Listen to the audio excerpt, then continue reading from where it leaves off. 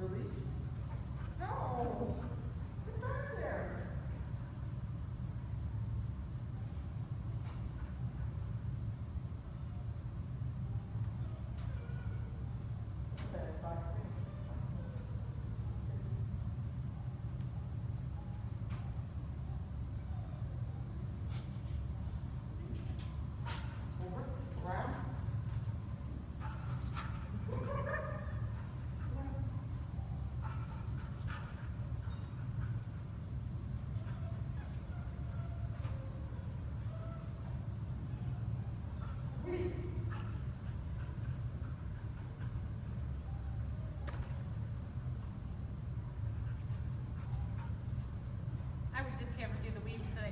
I, was just gonna say the same thing. Get her to do something where she'll be successful with the weaves, whether it's just the jump to the weaves or just the weave.